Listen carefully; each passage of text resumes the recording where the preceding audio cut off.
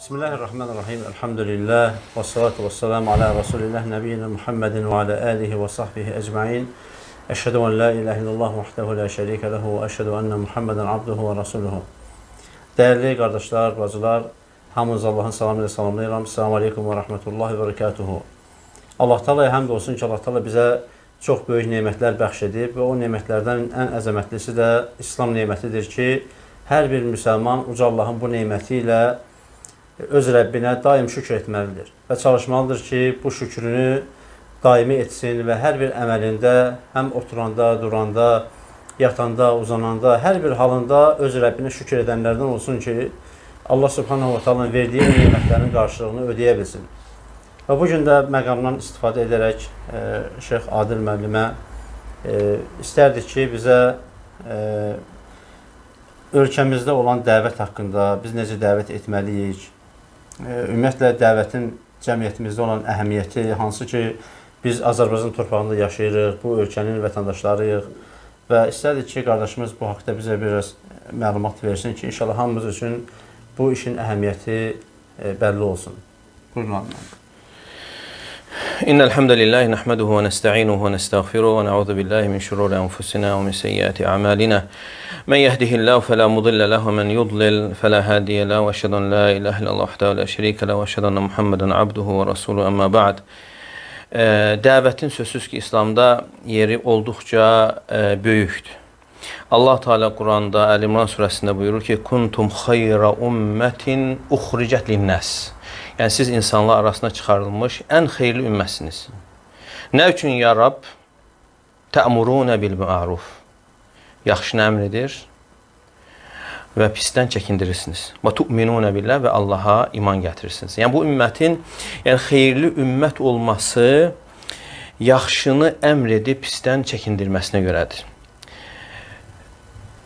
İnsanları arasında yaxşını əmr edib pisdən çəkindirmək insanların islahına səbəbdir.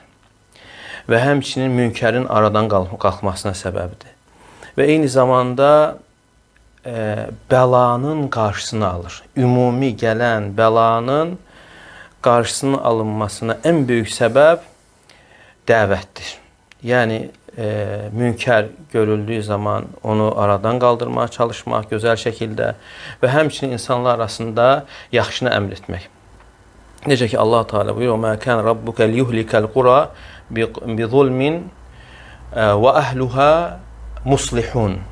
Yəni sənin ə, Rəbbin yəni bir məmləkəti etdiyi zülmünə görə məhv etmək, həlak etməz.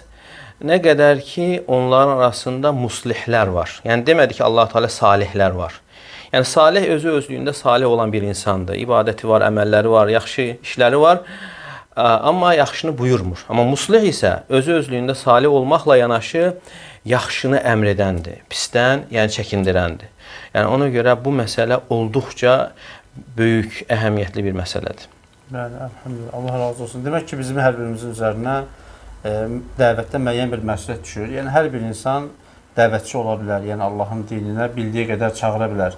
Lakin ümumilikdə biz yəni e, bu məmləkətdə yaşayırıqsa, Yəqin ki, biz e, bu dəvətə görə məsuliyyət daşıyırıq ki, insanları biz haqqa çağırmalıyıq, bildiyimiz xeyir işlərə çağırmalıyıq və bildiyimiz pis işlərdən də insanları çəkindirməliyik ki, bu işlərdən uzaq olsunlar.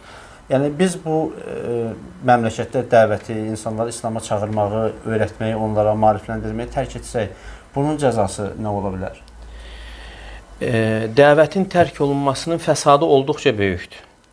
Yəni bayaq da qeyd olunduğu kimi ümumi ümumi bəla gələ bilər. Yəni Allah Taala tərəfindən ümumi e, bəlanın gəlməsinə səbəbdir. Və həmçinin e, alimlər buyurur ki, hələ ən az faydası odur ki, insanlar dəvət edərlərsə, yəni bir pis şeyi gördü, gördüyü zaman ondan çəkindirərlərsə və yaxşını əmr edərlərsə, yəni insanlar ən azı bilər ki, yəni bu şey olmaz. Yox, əgər deyir bilənlər, salihlər, xeyirli insanlar, yəni o münkərdən, bidətdən, şirkdən, yəni çəkindirməzlərsə, yəni insanlar arasında yəni onun yəni haqq olaraq formalaşması ortaya çıxar. Yəni deyərlər ki, əgər bu şey doğru olmasaydı, batil olsaydı, Yəni e, bilənlər bundan çəkindirərdi. Deməli bilənlərin çəkindirməsi, hətta əməl etməsələr belə onlarda bir fikir formalaşırkən bu şey düzgün deyil. Çünki deyirlər ki, bu olmaz. Yəni biz dəvət etməklə Allahın haqqını qurmuş oluruq. Dəvət etməməklə isə, dəvəti tərk etməklə isə biz elə ki, Allahın haqqını tapdamış oluruq. Bu da yəqin ki, ona görə e, böyük günahlardan hesab olunur. Təşəkkür edirəm Adil müəllimə e, bu dəyərli məlumatlara görə. Allah razı olsun. Allah, olsun. bizim hamımızı xeyrin müvəffəq etsin və bizi öz məmləkətimizdə e, ilk təbii ki, biz hər yerdə dəvət etməliyik, lakin ilk öncə öz məmləkətimizdə, öz yaxınlarımızdan, qohumlarımızdan, qonşularımızdan və ətrafımızda olan cəmiyyətdəki insanlardan başlamalıyıq. Bu da əlbəttə ki, böyük bir məsuliyyətdir və e, bu işin öhdəsindən gəlməkdə hər birimiz üçün Allahdan müvəffəqiyyət diləyirəm. Allah təala sizdən razı olsun. Təşəkkür edirik.